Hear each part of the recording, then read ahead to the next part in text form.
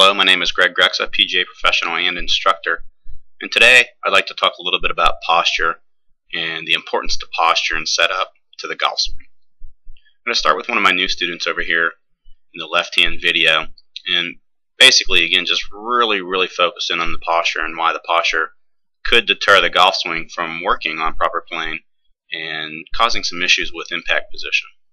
We're going to start first by just looking at how much bend she has from the hips. And we have 48.4 degrees of bend. The first thing I wanted to do was to get the posture much more stable and much more balanced. And by doing that, we've got to change the position of the balance point. So we're going to change that bend point to 40 degrees as opposed to 48.4. And again, once we can get the posture looking more in position and much more balanced, then we can start talking about improving the mechanics to the golf swing. The mechanics of the golf swing, to me, in many, many times, are often determined because of incorrect or poor posture and balance at the address position. So we have to be really, really careful as golf instructors to make sure that our students are continually balanced.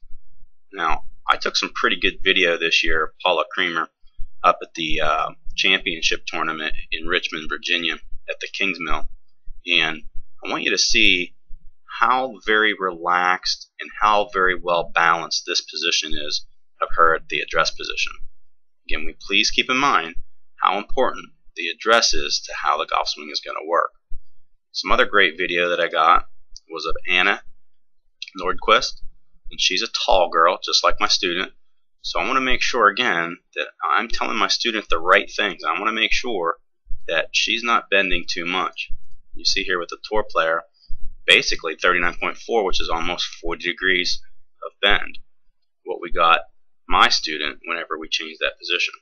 Let's go back to Paula again. We'll kind of look at her bend. We'll draw that line on there. You'll see she's at 37.6 or almost 38 degrees. So now we're seeing a consistency from player to player, and especially the best players in the world on the LPGA Tour, is we're not going to see them bending over too much. We want to balance the position out, get the eyes in the right position too. You'll see if we draw a line from her eyes down to the ball, her eyes are much more over top of the ball as opposed to more level with the hands. And that's another key indicator on how much the student is bending at the address position. Lastly, in the last video that we took of my student, we put her setting up with the driver. And I happened to get LPGA Tour player Janice Moodie. And basically this new position in her left video is much improved. We, we tried to get her posture much better. We tried to get the balance much better before she even began the golf swing.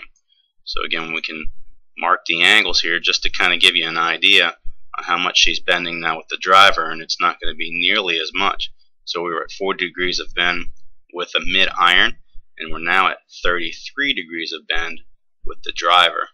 So that means we're doing a good job of improving, and we, we have Janice Moodie here at about 35, 34 and a half. So we're starting to be more consistent with what I'm helping her do already with her setup, which again is going to help her improve her golf swing. For more information, please contact Greg Grexa at Wildwood Green Golf Club. I'd be happy to make sure that your setup is much more balanced at the address position and it's going to help you develop a better swing.